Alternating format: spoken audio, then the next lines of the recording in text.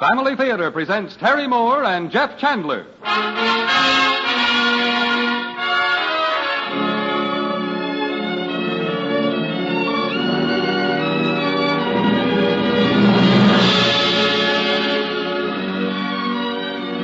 From Hollywood, the Mutual Network, in cooperation with Family Theater Incorporated, presents Jeff Chandler as the legendary nephew of Charlemagne in The Song of Roland.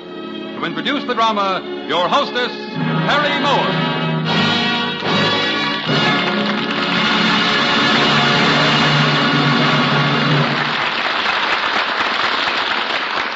Thank you, Gene. It has been nearly 160 years since a French historian discovered in a neglected corner of a museum a dilapidated but still legible parchment manuscript. This was the Song of Roland. The tale it recounts was not new to the scholars of European folklore, for the heroic story appears in the legends of all European nations. In fact, the recurrent musical theme you will hear tonight is a part of the original Song of Roland that French soldiers sang in battle for nearly four centuries, recounting the valor of Roland at the Pass of Roncesvalles. The Pass of Roncesvalles, high in the Pyrenees, where for centuries France and Spain have faced each other. To bring back again the epic days of Roland, it is now my pleasure to present Jeff Chandler as the title character in The Song of Roland.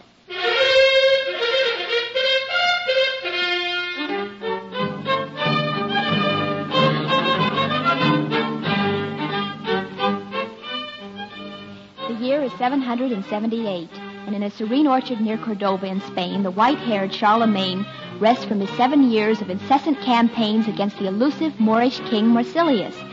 But as the mighty Frankish court spends its days idly in the flowering grove, in nearby Saragossa, the wily Marsilius, well versed in treachery, holds counsel with Blancadrin, wisest of the heroes in the Spanish camp.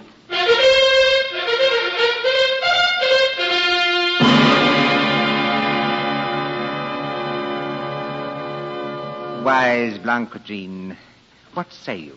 How shall I resist the disaster that threatens to overwhelm the right arm of Islam? Good king, though we have left no army fit to do battle with the mighty Charles, still I foresee that the Frank will come to terms. You speak with fevered brain, old man. What terms save our death may we expect from Charles? Let your envoys promise this, O king, that when Charles has returned to fair France, you shall follow there to do him homage and become his vassal. No, by Allah, you try me sore. Indeed, your wits have departed from you. Nay, Marsilius, we shall do as I say, even unto sending hostages as pledges for our word. My own son do I offer to lead them. Your son's life? And those with him? They shall lose their heads, but it is as Allah wills. But they will be few compared to the lives Charles and his legions will take from us. Aye, it is better they lose their heads than I this land and the nobles of my court. You, Blancadrine, shall bear my offer to the Franks. It is as Allah wills, my lord. Then pray he give you success. For if you fail, I shall have you torn limb from limb when you return from the French camp. Be off with you and mark well. My king has oft inquired about thy health, O mighty Charles. He would follow you to France, there to swear fidelity to the lion of the Franks. There are your words. And well do they fall upon my ears, Blancardine. Yet your king is very much my enemy, and in him, what token shall I find to trust? By these hostages that I bring you, noble king, my pledge will be assured. Among them, I offer my own son, my heir, that Marsilius will keep his bond. Hmm, that indeed is high price to put on treasury. What say you, my barons? You have heard the pledge? Think you the bond a worthy guarantee of it? My lord, woe is the day when we shall trust the heathen. I, who have served these years with you, have seen our peers laid waste by their treachery. I say, good uncle, we should attack. Yes, I... Yet I am wa- weary of warring. And these hostages that he offers are too dear to Marsilius that he would sacrifice them. What hold the heathen dear, my lord, save their own skins and their plotting? For me, I am with Roland. Methinks, sire, that young Roland and young hot-headed Oliver care not what deaths we die upon the fields of Spain. Let us be wise, my lord, as befits our years. Our victory has this day been granted us without blood or grief. Why then should we seek to lose our lives to gain the same ends? Your words, good Ganelon, strike true upon my ear. Noble lords, I have chosen the word of Ganelon. Then I ask you, who shall be sent to Saragossa and the pagan camp? It is for me to go, my lord, for the danger may be great. Nay, Roland, nor Oliver either, for you both are ruled by hot heads. Here must cooler wits and gentler tongues prevail. Then send you my stepfather, the overcautious Ganelon, my lord. Tis to his liking that we deal with the heathen. Hmm? You've heard the barons, Ganelon. Tis your lot to go to Saragossa. Aye, my lord. Though my life be the forfeit, I am at your command. As for you, Roland, what madness assails you? Peace, Ganelon, peace. Tis best to set the wily to catch the wily. In that I agree with my noble uncle. And well I know how eager is your desire to do your stepfather harm. Yet never did I think you would so openly betray him. Then stay here as would another craven, Ganelon. I beg Charlemagne's permission to, to go in your stead. It is not for you to go, young fool. For we are neither lord nor vassal to the other, but both at our king's command. And he has commanded me to go. Yet my mind shall be busy upon this mission, and should I return, it will not go well with you. You have my pledge upon it, and that pledge will be fulfilled. Here, good King Marsilius is Ganelon, a noble peer of the Franks. He comes in honor, for his lips shall tell us whether it be peace or war. Then let him speak, and our ears shall be for his words. God save you, Saracen. Charlemagne sends you this message that you shall bow at his feet in the dust, and that all of Spain shall be his. What say you? Should you refuse, then shall he bring these walls down about your head, and thy death shall be one of shame and dishonor. By Allah, your life hangs but by a slim thread, my lord. Speak you more softly, lest my javelin tear your arrogant throat. Nay, good lord, I would in the end be of service to us both. I alone can tell you what keeps the Franks in your fair land. I have no wish to hear further. Be not over hasty, my lord, for methinks we have a stout ally in Ganelon. It may yet appear that I have harshly judged you, my lord Ganelon. Tell me then, when shall Charles, Charles the Magnificent renounce war? He shall never desert his cause as long as his barons wish him to remain in Spain. And when shall the barons wish for peace, my lord? Never, sire. As long as Roland lives. And who among my camp could slay the Count Roland? Many have so attempted in these seven years, yet all have become dust before him and his mighty sword, Durandal. It may well be there is among your hosts no one champion to best Roland. Yet if all were to attempt it, might not one succeed? Allah puts wise words upon your tongue, Ganelon. Yet I cannot fight the French, for my legions are yet too few. If you send Charles the treasures of your vaults, the hostages promised, and your pledge to follow him to France, then shall he leave the country. And behind him shall remain a small rear guard. Oh, yeah, I see. I see. And the Count Roland shall be among them. It can be arranged, and Oliver with him. With two such heroes stricken and his armies disbanded in France, Charles will not again try to rally French arms against you. Good, Ganelon. I shall weigh your saddle with golden coins, if you can but assure me that Roland will be with the rear guard. It shall be done, good king. For many more than you have scores to settle with Count Roland. Then, as we close our cap, let them know their scores are paid in full, for the battle will be unto Roland's death. By my word, Ganelon, that will be. And thus, sire, did Marsilius say, if we shall leave for France, then shall his armies be disbanded, and in the time of autumn he shall follow you to the court of Aix, there to pledge fealty. You have heard the words of Ganelon, my peers. Shall we then accept King Marsilius and his pledge? Yet, my Lord Charlemagne, we should not relinquish all to the Spaniard. It seems wise to me that we leave a small force behind us as we cross the Pyrenees. If it is your wish, sire, I offer to serve with it. Aye, my lord, and I too shall serve with Roland. Give us but 5,000 men, and we will hold our lines against all the hosts of Islam. Let my sword Durandal be your spear, mighty king, and none shall pass the way it guards. Then it shall be as you wish, noble Roland. Yet I impose one condition upon it. Say it, my lord, that I may begin my service the sooner. When first you sounded the horn of my grandfather, Charles the Hammer, you pledged me you would not use it until your life be in the balance. Aye, my king. Nor have I ever raised it to my lips since that first day. Then hear me. Should this be but a Saracen trap, you are to blow the horn forthwith, for its mighty blast will call me back even from the smiling fields of France. So it will be, my lord. Yet with my good men and the sword of Hector at my side, there will be no occasion for the horn. Be not overconfident, good Roland, for the pagan is cunning as the fox. And look you sharp at the pass of Roncesvalles, for there you lie exposed to our treacherous host. The horn shall be your guarantee of safe passage. And I, good Roland, shall ride at the king's side, for among us none has sharper ears than I. And however faint the horn shall sound, I shall hear it. Then shall we ride, my barons. And keep thy ear keen, Ganelon. For if I should lose Roland, there are none to take his place. Nobles, make ready your men. We return to France, fulfilling our pledge to the Saracen Marsilius.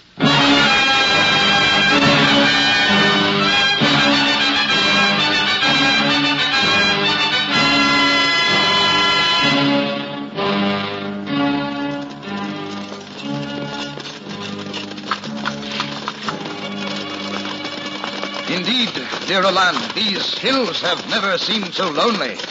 King Charles had just cause to warn us of this pass of Roncesvalles. It would go ill with us were the Saracens to fall upon us here. Aye. Now that Charles has led the armies back into France, I realize how few our numbers should the Saracen contemplate treachery. Ha! And treachery is there. Hark! Hark! Heard you that, Roland? Aye, it is the lookout. Listen, Oliver. Come, come, let us ride up to the top of the pass, quickly. Aye. Captain, hold the men here!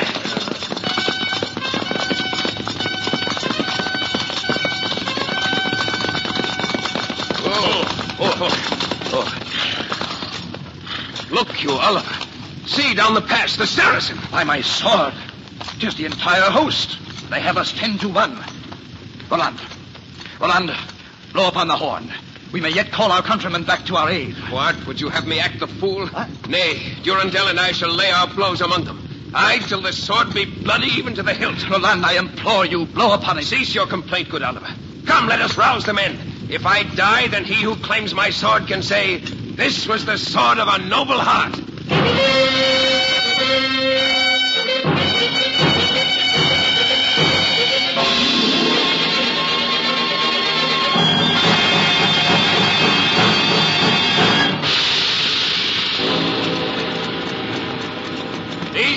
pagans have asked for death, good lords.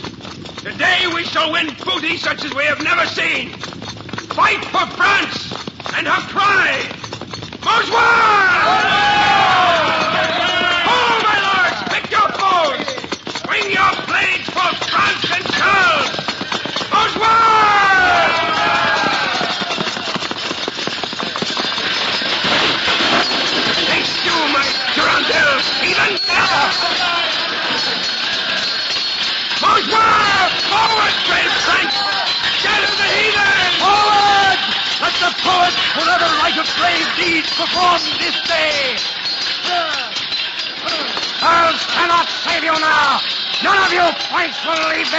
This battleground. Nor you, Jonathan!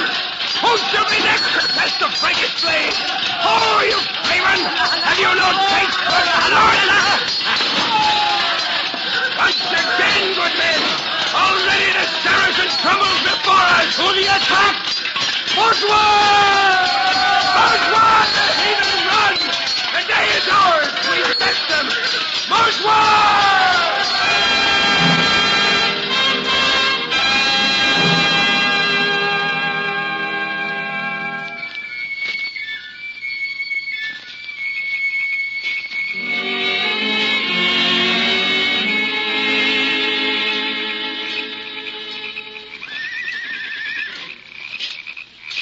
were surpassing brave today, good Roland.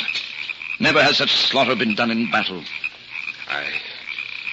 The blood of thousands run here among these rocky passages.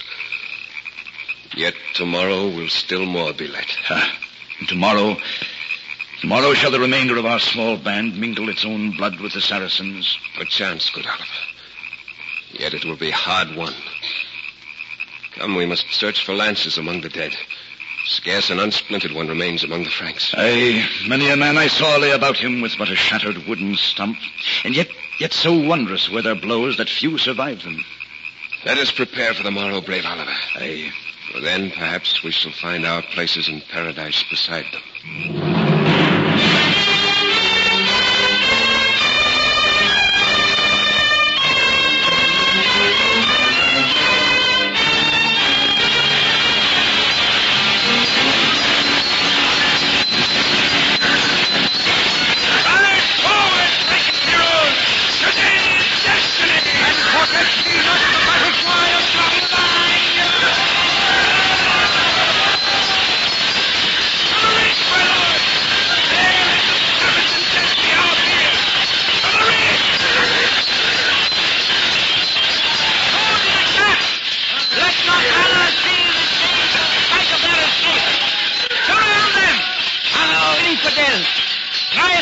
To escape thy fate? Nay, for my fate has yet to claim me dead.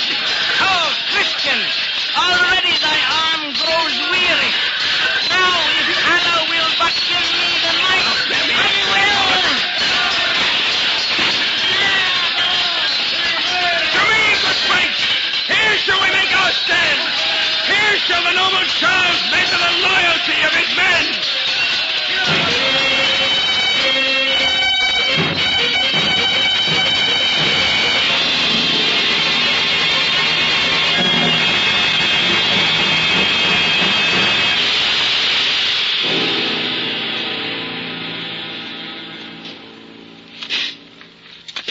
Stay you, good Roland, stay. Waste not your energies with this ceaseless pacing. Soon the Saracen will strike again. Aye. Now we have but a few more than sixty men against the pagan. Tell me, Oliver. Huh? Shall I sound my ivory horn now that Charles may rescue us? Ah, good Roland. You would not sound it when I asked you. But now I shall. And the king shall hear it, even at the gates of France. And then I swear to you the Franks will return to us.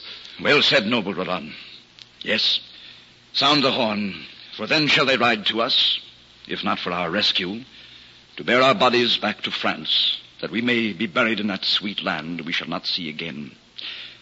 Sound it, and then let us go forth to seek our death. You speak well, brave Oliver. You are indeed the brother to mine own heart.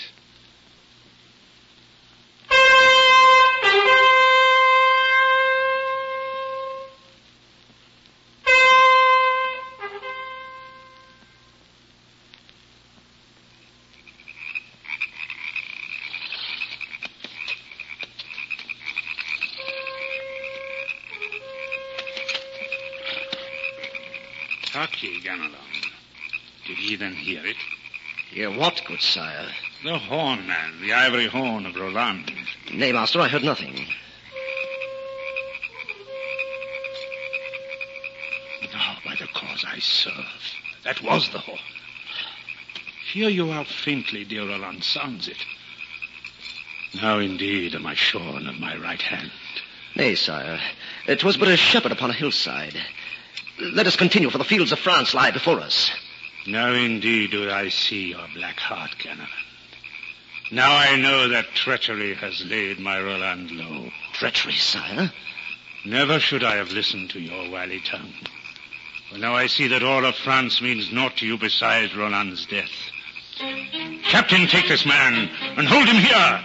Trumpeter, sound to arms! We must ride to Roland!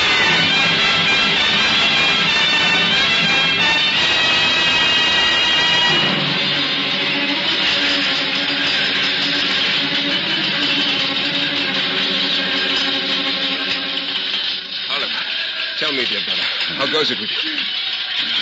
Oh, you heavens, how can you watch such a deed? How can you let sweet Oliver die for me? Nay, Nay, nay, good Roland. I, I die for myself. For in battle, I have always wished to go. Take, take your horse and, and find the battle again, Roland.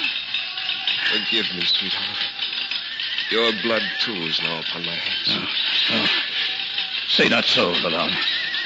Say not even goodbye. Soon, soon we shall ride together again. In, in,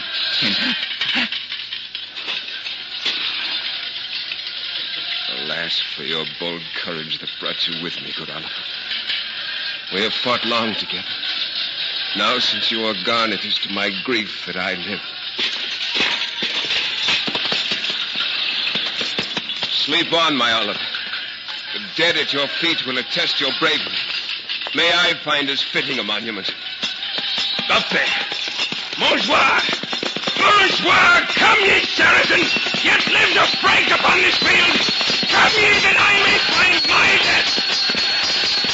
Montjoie!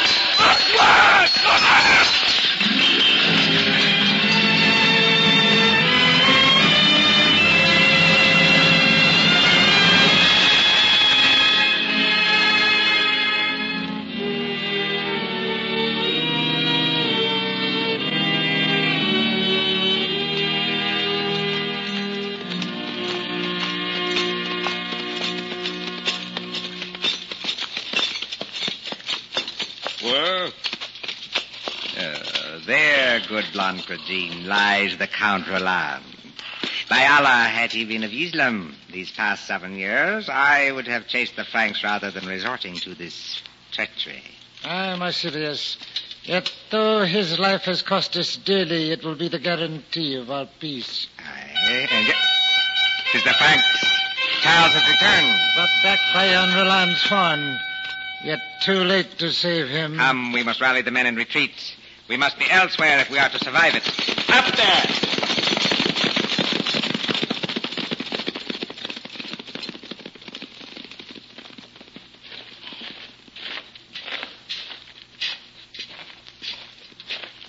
And so, this is the noble Roland, brought low by the might of Allah. what? Not yet vanquished, Frank? Then perhaps the sword at your belt will bring you your deliverance. No. Oliver. Good Oliver. Speak you to me. No voice shall you hear save mine, Frank. What? Who speaks? Tis I who shall seize your sword and carry it away with me. What? Seize my Durandal? Now you are indeed a fool. Oh, yet I die here. Shall not be to let you despoil me. So, pagan, would you lay your hand upon me? Living or dead, no Saracen shall do that. Oh, Alas, good Durandal. Methinks I die. No longer shall I be thy keeper. Yet shall no other hand hold you, for I shall destroy you.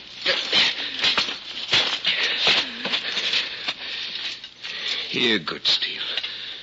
Bite deeply of this rock. Nay, not even this rock can harm you. Another must do it. Here.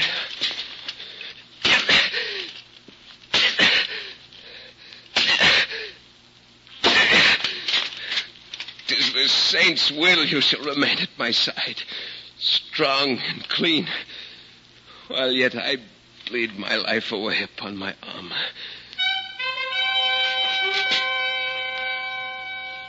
Tis Charles. Yet, yet he rides too late. For even now I feel my life drain away. The horn.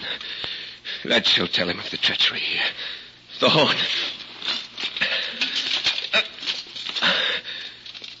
Speak now, my horn. Tell Charles of Frankish honor. Sing your song, good horn. Sing loud the song of Roland.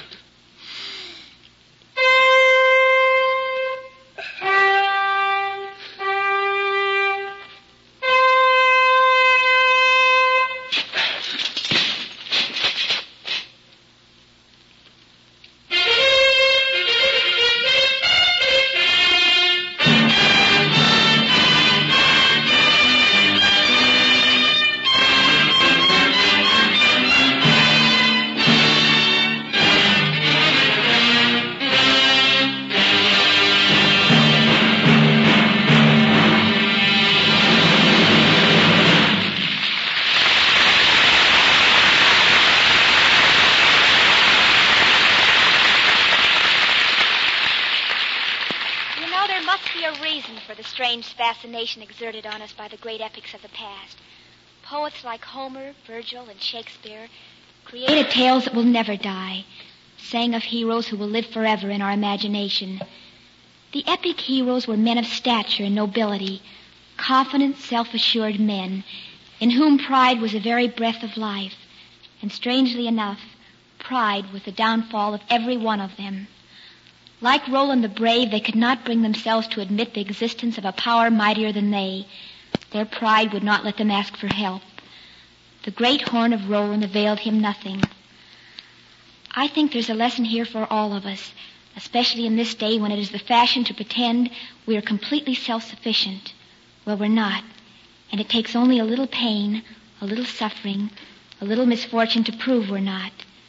We all need help in our lives, help from our fellow man, help from God who will answer us if we pray to him. That is why we of the Family Theater urge you each week to make prayer, especially family prayer, the daily practice of your life. Don't be too proud to ask God's blessings for your home. Remember that the family that prays together stays together. More things are wrought by prayer than this world dreams of.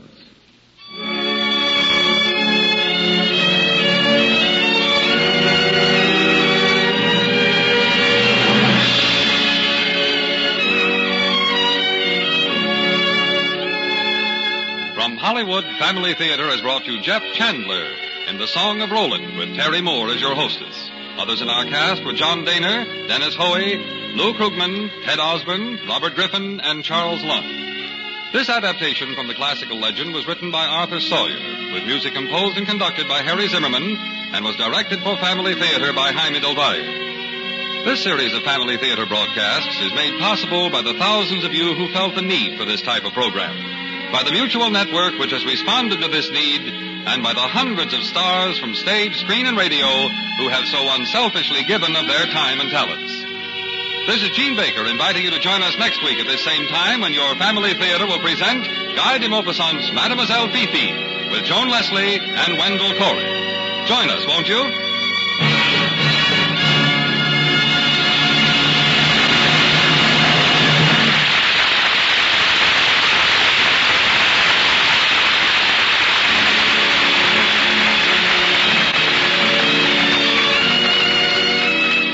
Family Theater wishes to congratulate CKLW, Mutual's outlet in the Detroit area, for its increase in power to 50,000 watts.